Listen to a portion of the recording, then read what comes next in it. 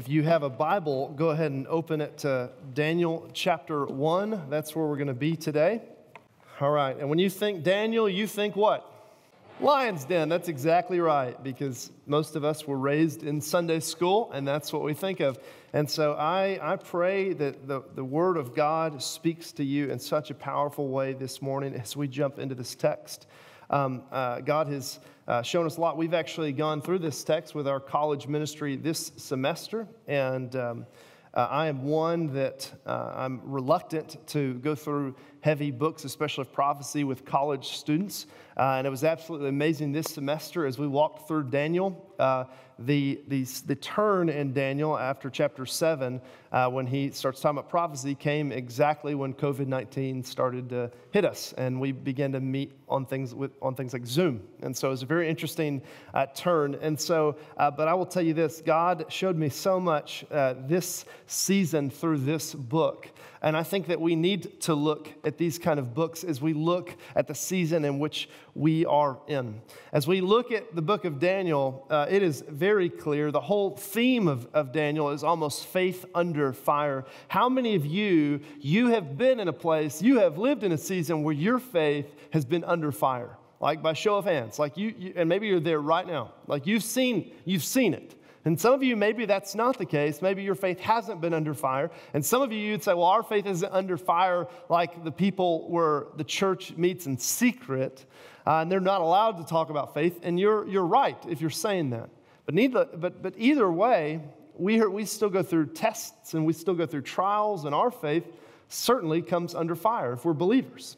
Never forget, working, uh, my degree is in psychology uh, from Texas A&M Commerce. That's where I met uh, beautiful girl back there on the very back, who I can barely see right now. Let me get my glasses.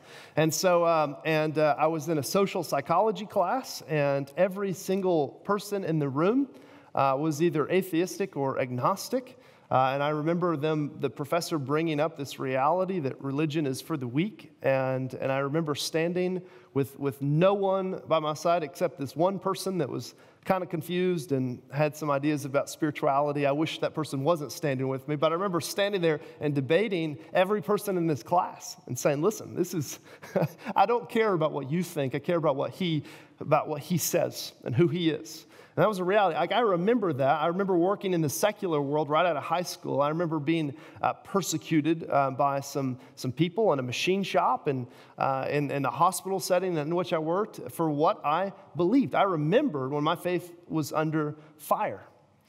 And I think this is interesting because when I think back a little further, when I was in middle school and when you were in middle school, which was a little further back than I, when I was in middle school, are y'all with me? And so um, nobody laughed at that. That was a joke. Uh, I, when, when that, I remember the enemies in our society were kind of clear, right? It, the enemies were clear, but today we're living in a world where the enemy is everywhere, where, and, and he's nowhere at the same time, isn't he? Um, this pandemic produces fear. No one knows what to do. Protests and riots rage through the nation. Hate speech is everywhere. What's right changes every day, so it seems. Right? This is, and let me just make a simple observation of, of our times. Are you okay with that? All right, so throw, put, keep your rocks to yourself or whatever, right? Your tomatoes, whatever you delight to throw. A simple observation of our times is mind boggling. If you simply utter the phrase, all lives matter, you are a racist.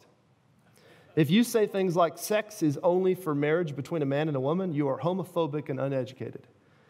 If you say there are only two genders, you are intolerant and transphobic. If you say things like Jesus is the only way to heaven, you are ignorant, xenophobic, a bigot, and hateful. Are you seeing that with me? Are you guys seeing the same thing that I'm seeing in our world right now? To be woke, that's our world's definition, to be enlightened in our world right now is to only agree with what the world says about sex, gender, marriage, money, happiness, purpose, and God. And there's a problem with that, right? There's a problem with all those views because those views don't line up with the views of our God in this book. That's the problem. And, and, and I'll, just, I'll just speak my own beliefs right now. It doesn't matter what you think or how you feel, it matters what God says. Like, that's the reality that we will be judged by one day. Matters what God says. But for believers in what God says, we are caught in the crossfire, aren't we? Right now, as our world becomes worse and worse. And I'll just, I'm going to break this to you. If you study Revelation or you study the end of Daniel, the world will get worse. Like, it doesn't matter who will get elected, the world will get worse. Like, you can just, any Bible, any student of the Bible will tell you that. Are you with me? And so our faith will increasingly be under fire. So the question for us this morning as we jump in is how do we as believers in Christ live in a world where our faith is under fire? And I'm thankful that the answer is nothing new. Because it's been this way for 2,600 years as we jump back into Daniel. So, we're going to unpack Daniel chapter 1, and I just want to give you a little bit of context before we do that. Are you with me? Are you ready to dig into God's word? Amen. Uh, those online, are you ready? I heard you, friend. There it is. So, Daniel, uh, he was taken into exile. The book begins. He's taken into exile in 605 BC, around the age of, some scholars say, 15 years old. Daniel was a teenager when we begin this book. When King Nebuchadnezzar made a raid upon Judah for wealth, slave labor, brilliant, skilled young men to help enlarge his kingdom by serving as slaves, they took Daniel on this. Um, some scholars believe that Daniel, and in fact, it would have been the custom of this day. If you were a king and you conquered another kingdom, you would force the occupants of that kingdom to walk all the way into your empire in a great parade. And so Nebuchadnezzar would have likely forced Daniel, who is age 15, to walk over 700 miles from Israel all the way to Babylon. Daniel would have forced him to walk this distance. And ultimately, God let this happen. And some of you would say, why would God let this happen? Why? The, the time of the exile, why did God let this happen? And we understand that answer in Scripture as well. Scripture tells us is because of years of rebellion. In fact, for 490 years, God's people did not obey God's command to let the ground rest every seventh year. You say, well, that doesn't sound like a big commandment. But can I just remind you that every commandment that God gives is important? It is God breathed. It is profitable for reproof, for teaching, for training, all godliness. Like God gives his commands so his people might obey them. And so God said, every seventh year, you're going to let the land rest. And Israel forsook that. They, they did not. They continued to work on the, on the seventh year. And so God had them exiled for seven years. When you look at this, they did this for 490 years. They disobeyed that commandment. So if you divide that time by seven, you get 70. God punished them for each year. He, he, they, they, they spent 70 years in exile. This is what happened. Some, some of you think God doesn't care about his word. God cared enough to allow his people to be exiled because they broke his word. Are you with me? And so God allowed this scene to take place, but there's this greater story going on in the book of Daniel, and that's what we're about to see. That's what we're about to see. So, Daniel chapter 1, starting in verse 1. This is where we are going to pick up. And we read this. In the third year of the reign of Jehoiakim, king of Judah, Nebuchadnezzar, king of Babylon, came to Jerusalem and besieged it. And the Lord gave Jehoiakim, king of Judah, into his hand with some of the vessels of the house of God. And he brought them to the land of, what's the word? Shinar. Turn to your neighbor, say Shinar. Shinar. To the house of his God. And he placed the vessels in the treasury of his God. All right. So we've got the king of Babylon. Again, he, he comes and he travels to the west. He takes Daniel, he takes Judah, he takes these captives and brings them to the east, right? To the land of what? Shinar. Very good. Good students of God's word this morning. Good. All right, so then we, we go on, verse 3. Then the king commanded Ashpenaz, his chief eunuch, to bring some of the people of Israel, both of the royal family and of nobility, youths without blemish, of good appearance, and skillful in all wisdom, endowed with knowledge and understanding, learning and competent to stand in the king's palace, and to teach them the literature and the language of the Chaldeans.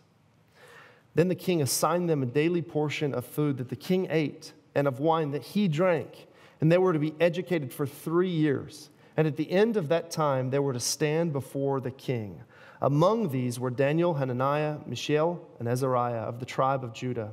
And the chief of the eunuchs gave them names. Daniel he called Belteshazzar. Hananiah he called Shadrach. Mishael he called Meshach. And Azariah he called what?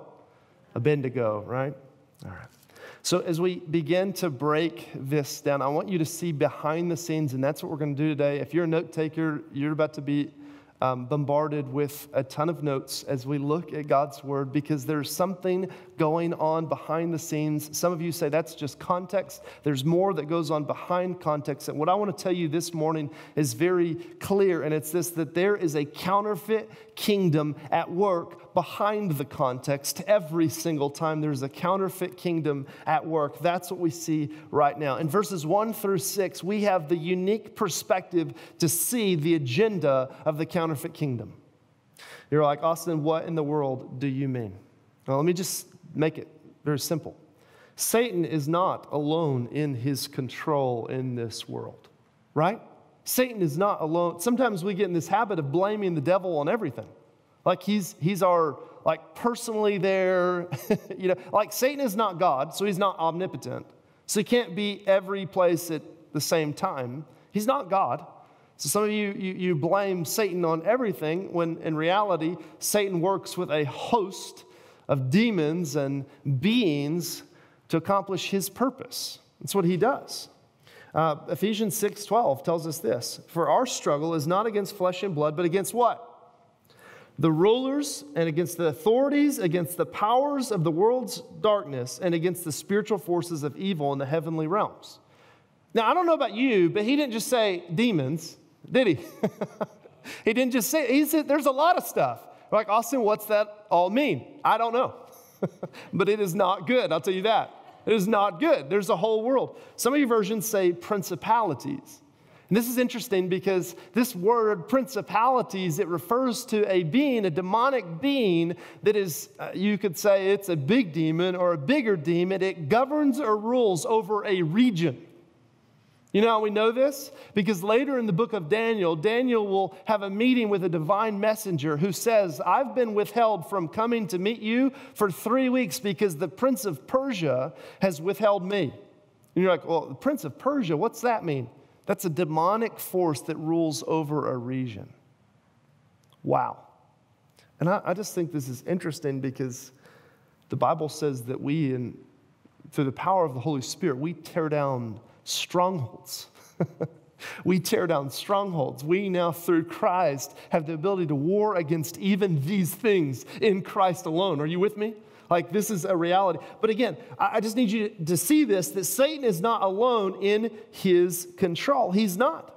And so, uh, Revelation 17, we're going to turn there. In, in, fact, before we do that, God, I'm not going to go deep into this, but God has a divine council when we look in the Old Testament. He has, he has a hierarchy of angels. Some of you know this because we have Gabriel and Michael, and you're like, that's about all I, the angels I know in the Old Testament, right? And these are, seem to be greater angels, and maybe there's lesser angels, but, but there is. There's a hierarchy in angels, but Satan replicates and counterfeits that hierarchy himself, doesn't he? That's what we see in this text. And I'll, I'll break this down to you in just a second. See, we start seeing Babylon, and we're going to read quite a bit about Babylon, but behind Babylon, there is a spirit, and that spirit is called the spirit of, guess what? Babylon. The spirit of Babylon is behind the scenes here. I'll prove this to you. Revelation 17. It's not going to be on the screen, but just listen to this verse. Revelation 17 says about this spirit. By the way, the spirit's not gone. The Spirit hasn't ceased to exist, the Spirit's still at work today. You're going to see his effects this morning. Revelation 17 says this Then one of the seven angels who had the seven bowls came and said to me, Come, I will show you the judgment of the great prostitute who is seated on many waters, with whom the kings of the earth have committed sexual immorality, and with the wine of whose sexual morality the dwellers on the earth have become drunk. And on her forehead was written in a name of mystery Babylon the Great, mother of prostitutes and of earth's abominations. That is not a title you want. Are you with me? this is an enemy of God, and it is the enemy behind the scene in the book of Daniel. And so, as we, as we read this, we're going to expose the enemy's agenda and work. All right, you ready to dig in? All right, so we go on. The first, what's the first thing we read? In the, in the third year of the reign of Jehoiakim, Nebuchadnezzar the king came to Jerusalem and he besieged it. What do we see? We see this reality that Babylon brings slavery. He besieges it. Uh, it, says, it says, and the Lord gave Jehoiakim into his hand with some of the vessels of the house of God. The first thing that we want, I, want to, I want you to see this morning is Babylon, the spirit of Babylon brings slavery. It brings slavery. And, and, and why is this a counterfeit kingdom? Because God offers what? Freedom. But Satan and his forces, they force slavery. This is his agenda, this is his work. Let me just ask you a question Is this going on right now? They're like, well, we're not being besieged. And some of you are like, oh, yes, we are. I'll just give you two very quick examples in, in the world of youth, drugs, right now. Five, just a few years ago, a study came out. Uh, it came out with this, this reality that 14.8% of the population of, of, of teenagers between 18 to 25 battled some substance use disorder, battled drugs. Uh, it equates to about one in seven of every young people fought this. Are, have you guys seen anybody affected by that in your life? By show of hands? Oh, so you've seen Babylon bring slavery. I have. Pornography. 90% of teens and 90%, 96% uh, of young adults are either encouraging, accepting, or neutral when they talk about pornography with their friends. Uh, have you guys seen any, oh, and you, maybe you haven't because that's not a common thing that we talk about today in our culture. But let me just tell you, it is very common in the culture of every young person I have ever talked to. Is Satan trying to bring us into slavery through this means? Yes, absolutely. Well, God offers freedom, Satan forces slavery. All right, let's, let's go on. It says Babylon came to Jerusalem and besieged it, and the Lord gave Jehoiakim, the king of Judah, into their hands with some of the vessels of the house of God. And he brought them to the land of what? Shinar. He brought them to the land of what? Shinar. All right, so they went west to Israel, and they came east to the land of Shinar. That'll be important in just a little bit, so pay attention. Hang in there. What I want you to see in this moment is that Babylon leads to dark places. It leads the people of God to dark places. Uh, God, God's people were brought to a demonic region. And you're like, well, I don't know what Shinar is. That's, that, I don't know, I've never heard of that. Is that somewhere outside Sherman? No, it's not. Uh, but Genesis 11, 2, 4 tells us where Shinar is. In Genesis 11, 2 through 4, it says this And as the people migrated from the east, they found a plain in the land of Shinar, and they settled there. And they said to one another, Come, let us make bricks and burn them thoroughly. And they had brick for stone and bitumen and mortar. And they said, Come, let us build ourselves a city and a tower with its top to face the heavens. And let us make a name for ourselves, lest we be dispersed over the face of the whole earth. What? Yeah, this land was the land of the Tower of Babel. This is the land of Shinar. It's the same demonic region where people opposed God and made for themselves made themselves like God. That is the region that the spirit of Babylon is leading God's people. God leads us towards the light, but Satan leads us towards the dark. Like that's the counterfeit kingdom. Are you with me this morning? You guys still following along? Like, do we still see this today? Yes. Anybody notice this? Like, what's bad is becoming worse. I, think it's funny because it's hard to watch a show that you enjoy without something bad in it. Are you with me? Like if you walked out every time you heard a, a, a, a, word of profanity from a movie, you would not go see movies. You, you just wouldn't. And so, like, there is, it is very hard in this season to find anything wholesome, anything godly. Why? Because as a society, we're being drug, and God's people in this society are being pulled towards dark places. God leads us towards light, Satan leads us towards darkness. We go on to see, and the Lord gave, again, Jehoiakim into his hand with some of the vessels of the house of God, and he brought them to the land of Shinar, to the house of his God. And he placed the vessels in the treasury of his God. We see that Babylon, not only does he lead to dark places, but he steals, the spirit of Babylon steals what belongs to God. The vessels of God's temple, these golden vessels, they were used to bring worship and honor and glorify the name of the one true God, Yahweh. And what does the spirit of Babylon do? He steals not just the people, but the vessels that were used to worship God, these golden items, and he brings them back to the land of his God. Uh, it's just interesting because while God creates worship, Satan steals what? Worship. It's the counterfeit kingdom. Are you following along this morning? Like, it's the counterfeit kingdom. Matthew 4 9 through 10. What does Satan tempt Jesus with on the mountain? Satan tempts him with this all of these things, all this kingdom, I will give you if you will fall down and do what? Worship me. It's the ultimate steal, it's the ultimate rob from God. Satan tries to tempt Jesus himself, the Son of God, to fall down and worship him. Wow. God creates worship, Satan steals worship. Is this still going on today? Yeah, absolutely. Uh, nothing is sacred anymore so it seems in our culture.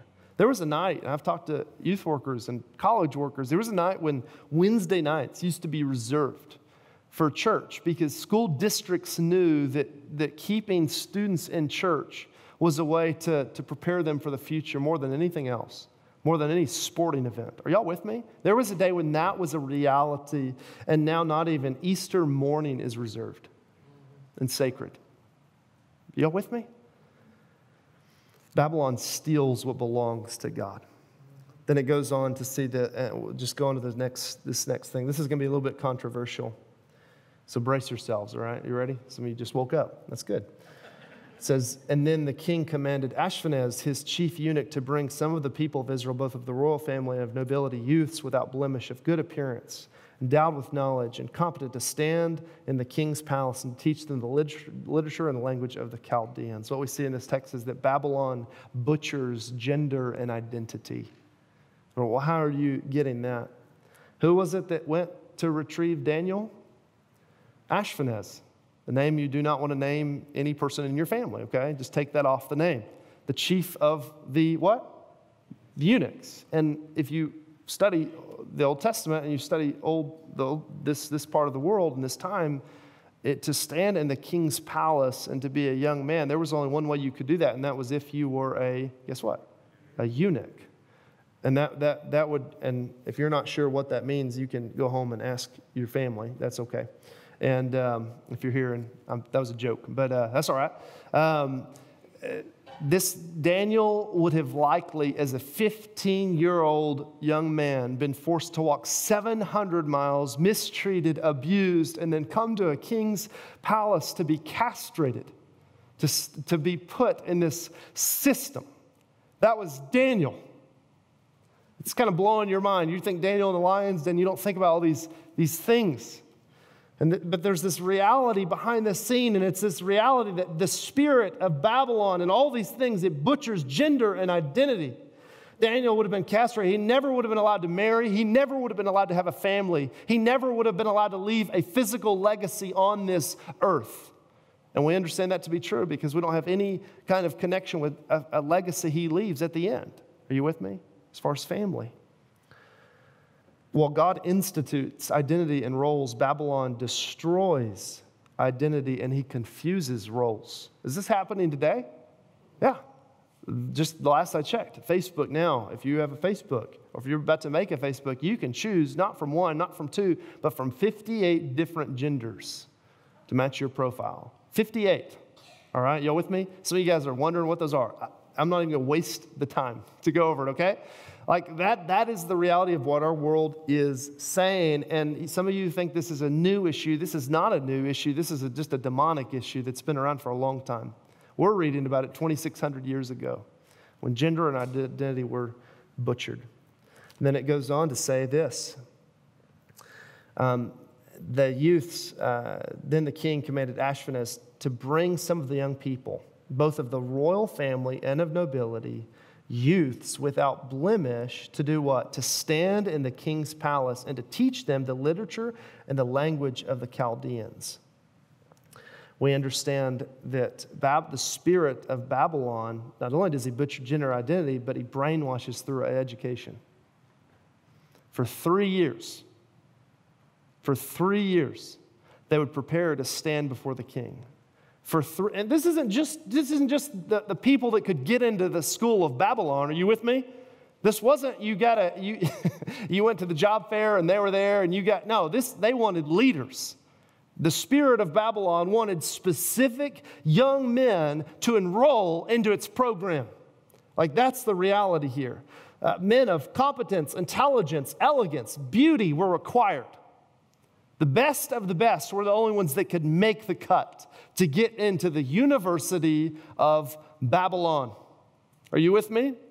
Where they would be brainwashed. Some of you are like, how could you go to a university like that? Some of you know people in a university like that. Are you with me?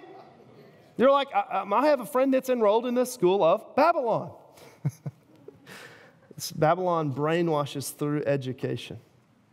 While God equips all who follow him, Babylon brainwashes leaders to follow it. Are you with me? 70% of students in the church drop out their first year of college. They're never connected again. 70%. That study has been proven again and again and again. Why is college ministry important? Because of that statistic right there. Because students are enrolled in schools of Babylon and they need to hear the gospel to be liberated from this bondage. Are you with me, church? Amen. Lastly, Babylon brainwashes through education, and then we see what, what at the very end. And the king assigned them a daily portion of food that the king ate and the wine that he drank. And they were to be educated again for three years. And at the end of that time, they were to stand before the king. All of this is for some sick purpose to stand before a wicked king. That's all of it. To stand before that dean, to stand before that, that, that president of that university, to stand before that king. Like that was the reality. And among these were Daniel, Hananiah, Mishael, Azariah. And the chief of the eunuchs gave them names. Oh, how convenient. Daniel he called Belteshazzar, Hananiah he called Shadrach, Mishael he called Meshach, Azariah he called Abednego. Babylon renames and redefines. That's the agenda of the spirit of Babylon. The chief of the eunuchs renamed these men of God from the family of God. He renamed them. Um, and we're going to throw those uh, names up on the screen. Let's start with Daniel. Daniel, literally in Hebrew, means God is my judge. Belteshazzar means Bel protects his life. Bel was the demon god of that region. And so his name is literally a reversal or a counterfeit of the Hebrew name that God gave him. And, and I'm, I'm guilty because I remember the story of Daniel, Shadrach, Meshach, and Abednego like that because that's how I learned it. We should probably call them by their Hebrew names. Are you with me? Amen. Can we change that Sunday school curriculum? All right, teachers, let's go. Uh, Hananiah, let's, Yahweh is gracious, but his name is changed to Shadrach, which is the command of Aku. Aku is a demon god in that region. I, I, I live at the command of Yahoo, uh, Aku. Uh, Mishael, who is what God is?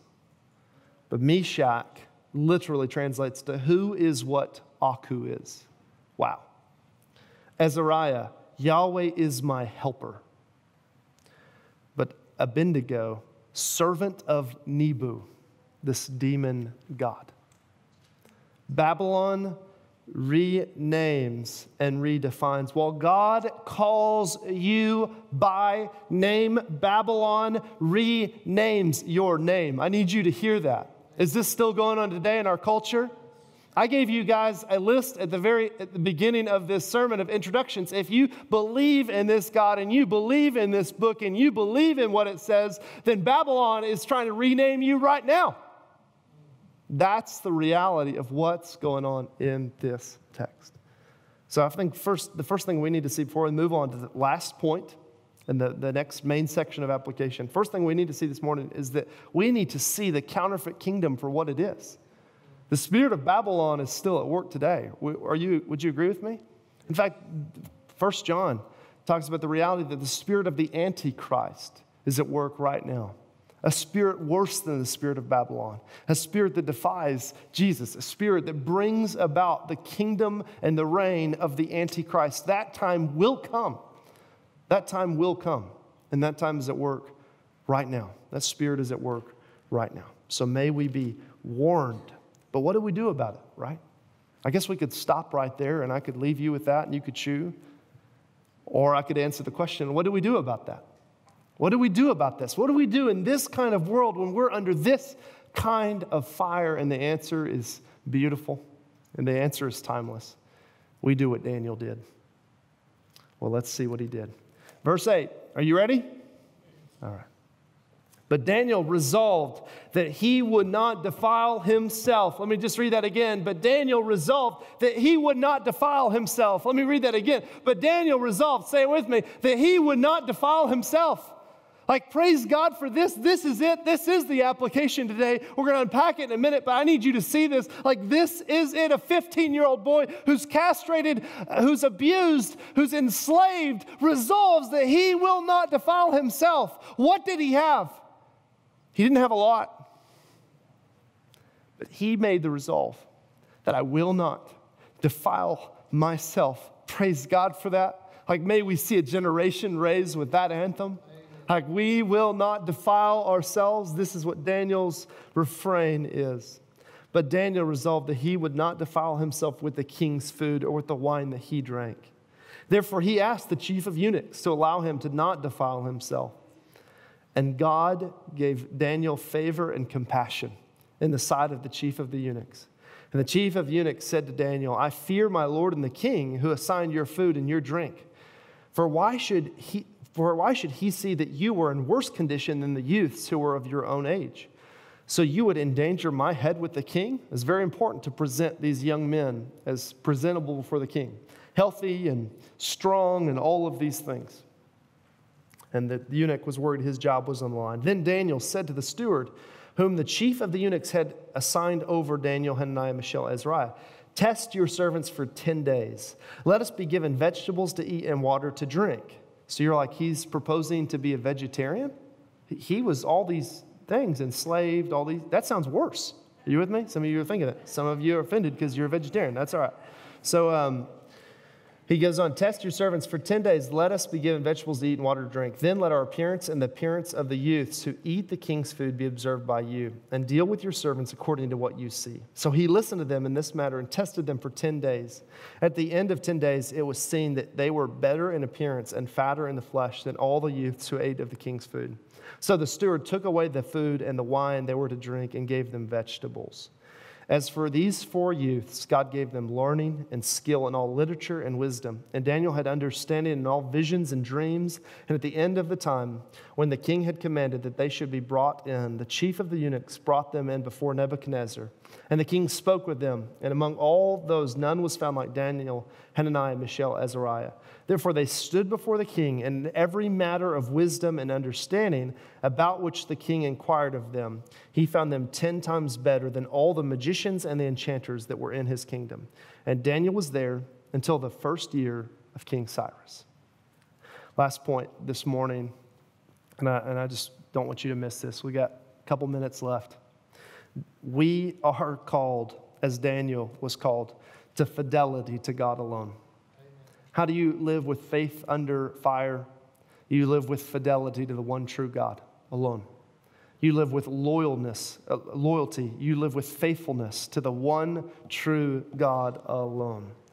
And we see in verses 8 through 16, we see Daniel's faithfulness and then the outcome of his faithfulness. See, Daniel chose to be faithful. He chose not to defile himself. He made that decision.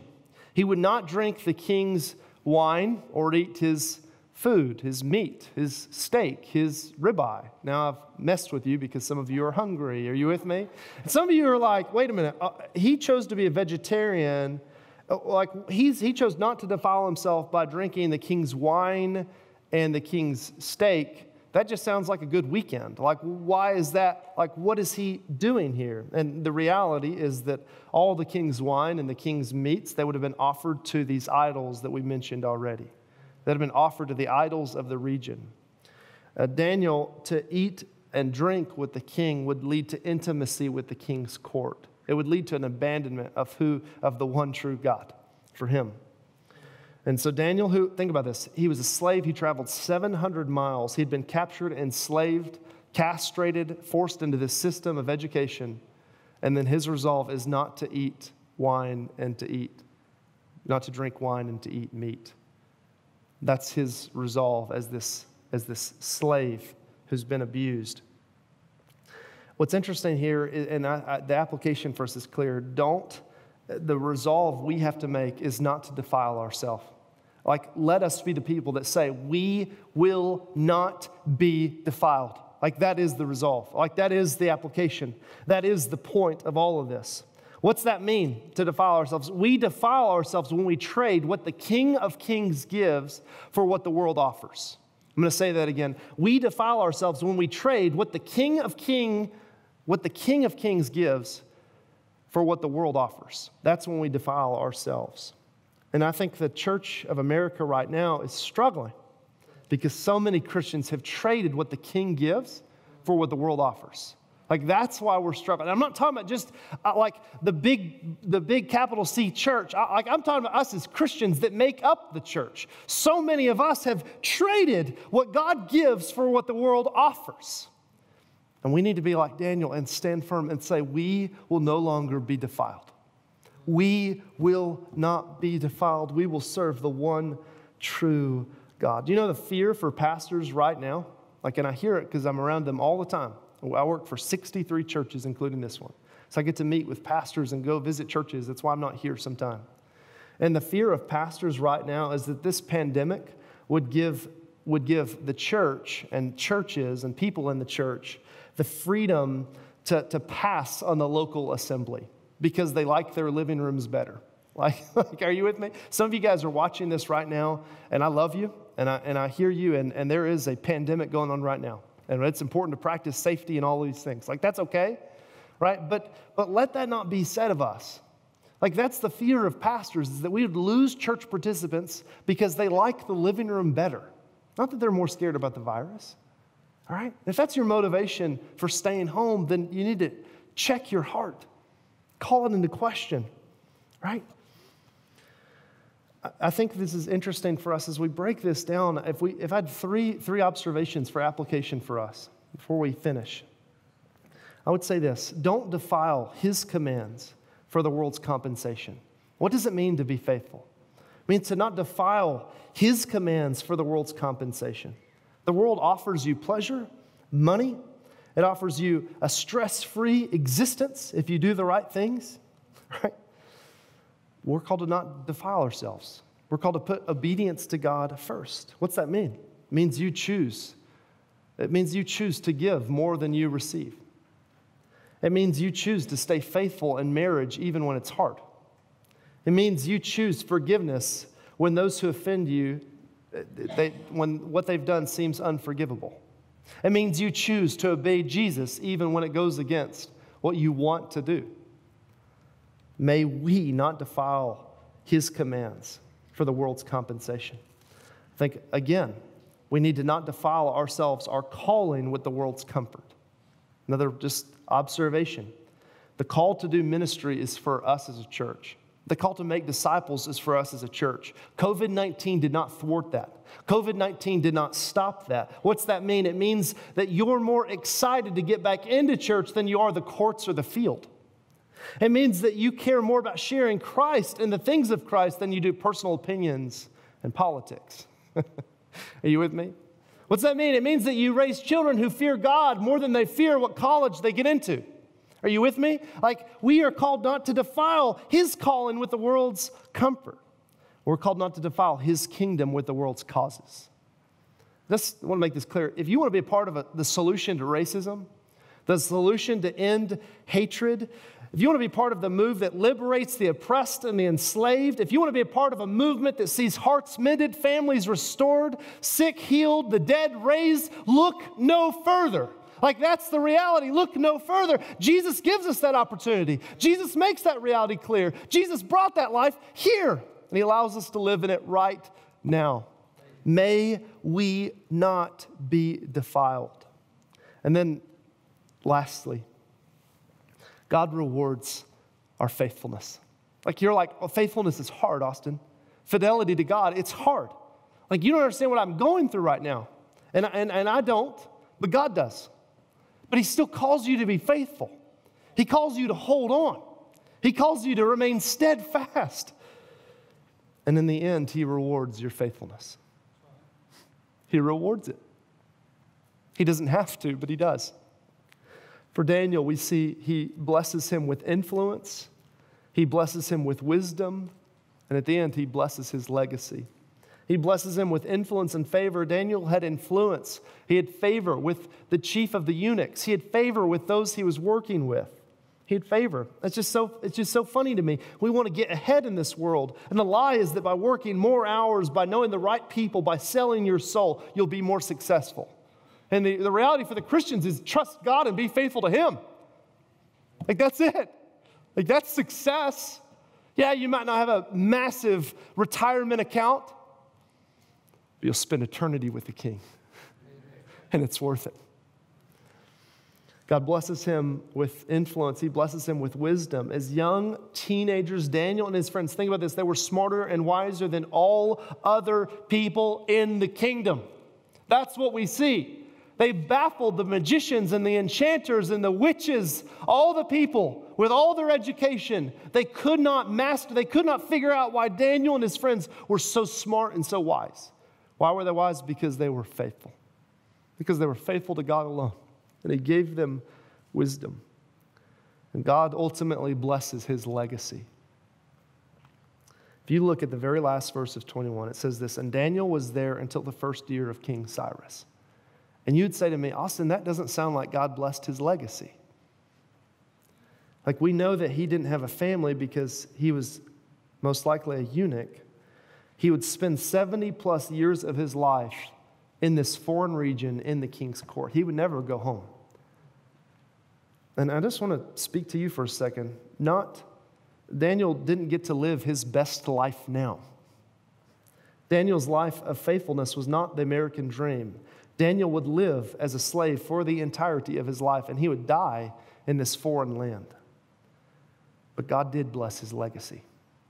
We're going to turn to chapter 2, and we're going to read two verses, and then we're done. Are you guys still okay this morning? All right. This is where God's word comes alive, and I, I can't wait to show you what we're about to say. Daniel chapter 2, just look at, we're just going to read a verse here and then one other passage as God blesses his legacy. Going to the end of this dream in chapter 2, Daniel interprets this dream, and in verse 47, at the end of all this, this amazing turn of events, the king answered and said, Daniel, Truly, your God is the God of gods and the Lord of kings and the revealer of mysteries, for you have been able to reveal this mystery. Then the king gave Daniel high honors and many great gifts and made him the ruler over the whole province of Babylon and the chief what? Prefect. And the chief what? Turn to your neighbor, say prefect. Prefect over all the wise men of Babylon. And Daniel made a request of the king, and he appointed Shadrach, Meshach, and Abednego over the affairs of the province of Babylon. But Daniel remained in the king's court. Austin, you're like, Austin, it's not getting better. You said he blessed legacy, but he's still in the king's court. Chapter 2 didn't change that. Chapter 3 doesn't change that. Chapter 10 doesn't change that. Like, what is the reality here? Well, the reality here is that, that God put Daniel to work in the king's court. In fact, he made him a prefect in the king's court. You're like, I'm still not following you. That's okay. Daniel would be the one that would influence the teaching, the demonic doctrines, all the stuff that was being taught in the school and the University of Babylon. Now, Daniel is a professor. He's an adjunct professor in the school and the University of Babylon. He's over the wise men. He's over the people. He's over the system in the school of Babylon. He's the chief prefect. He's the dean of the department for his entirety of his career here in Babylon. You guys still with me? 600 years later. Turn your Bibles to Matthew chapter 2. Now, after Jesus was born in Bethlehem in Judea, in the days of Herod the king, behold, wise men from the what? From the what? Who traveled to the west from the east came to Jerusalem, saying, Where is he who has been born the King of the Jews? For we saw his star when it rose, and we have come to worship him. Going into verse 7, if you're following, I'm just going to jump a little ahead. Then Herod summoned the wise men secretly and asserted from them what time the star had appeared, and he sent them to Bethlehem, saying, Go and search diligently for the child, and when you have found him, bring me word that I too may come and worship him. After seeing, after listening to the king, they went on their way, and behold, the star that they had seen when it rose went before them and uh, and it came to rest over the place where the child was. When they saw the star, they rejoiced exceedingly with great joy. And going into the house, when they saw the child with Mary, his mother, they fell down and worshiped him. Then, opening their treasures, they offered him gifts. What were the gifts? Gold and frankincense and myrrh. And being warned in a dream not to return to Herod, they departed to their own country by another way. So you guys are, are, are following and you're seeing something for the first time. This changes how I see the nativity scene. Are you with me? But let me just break this down if you're not there and if you're watching from home. Because Daniel was faithful. 600 years later, wise men from the east, most likely the land of Babylon, the former land of Babylon, they traveled, some would say, about 700 miles. That's why they didn't just show up the first night with the shepherds. They showed up later because they had a long way to go. They traveled 700 miles to announce the King of Kings and the Lord of Lords. You're like, well, how did they know that? They could have only known about his coming. If somebody had been a part of their teaching and a part of their culture and had told them about the king that would come one day, they could have only known if someone maybe a 15 year old, enslaved, castrated peasant would have been in their homeland teaching a curriculum on the coming of the, the king. Because Daniel was faithful, these wise men come to announce the King of Kings. And not only that, because Daniel was faithful, these wise men, they bring worship back to God. What was the first gift that they bring? Gold. This side of the room. What was the first, the first gift they bring? Gold. What was the first thing the spirit of Babylon stole from the temple of God? This side of the room. Gold. Oh my goodness. Could it be that the wise men brought the same gold that was stolen 600 years earlier from the temple of the one true God? And they laid it at the feet of a baby of a young boy, of a young Jesus. The same gold that was used to worship the one true God is laid at the feet of the child who is God. Are you with me? What's the second gift? Frankincense. Third gift? Myrrh. Isn't it interesting that those are the two gifts as we look at Exodus chapter 30? Those two gifts are the thing, those two things are the key essential ingredient to worshiping God in the temple in his temple, these things were used in every part of worship. They were the thing that, that filled the temple, it was the aroma. And these things are laid at the feet of young Jesus. Myrrh is an interesting component too, because myrrh isn't just something that was used in the temple to worship God, it was also, an, it was also something that was used to embalm the dead. It's almost like the wise men, them laying these gifts down at Jesus. They were prophesying that this is God, that this is the king who would die and who would become king forever and ever and ever and ever. Amen. It's almost like they were doing that. Hmm. Me just close with this. Because, because Daniel was faithful, these wise, these wise men, they foreshadow the King of kings and the Lord of lords because he was faithful. Because he was faithful. God leaves a legacy behind that is fruitful because he was faithful. God uses our fidelity in him alone to champion a future about him alone. Like that's what God does. When we are faithful, God makes us fruitful, even if we don't see it in our lifetime. If we keep holding on, if we keep walking in obedience, if we keep sacrificing of ourselves, if we keep holding the faith, if we just keep believing, God will use it for His glory. That is the story of Daniel chapter 1. And all God's people said, Amen. Amen. How do we live in a world where our faith is increasingly under fire? We do that by living like Daniel. We do that by, by living with fidelity to God alone, by choosing not to defile ourselves with the things of this world. Are you doing that this morning, church?